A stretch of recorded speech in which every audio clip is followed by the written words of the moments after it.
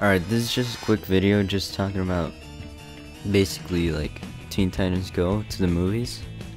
I just came back from the movie theater and god, the movie's actually pretty decent. But uh, we're not here to talk about the stupid movie. We're here to talk about what has been announced. Sure, it wasn't announced at San Diego Comic Con, but it was announced in the movie. Like after after the end credits, um, you can see you can see the original Teen Titans from like 2002. You can see them, and they're like, "Oh, uh, I think I think we might found a way to come back." And holy shit, dude!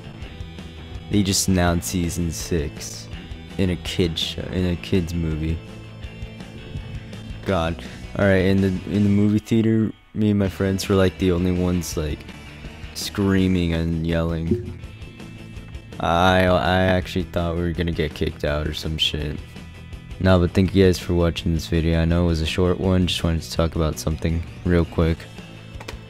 But next video I'm gonna make is also gonna be a quick one. It's gonna be me uh, like a quick review of Sonic Mania Adventure, the little five-part series of Sonic Mania.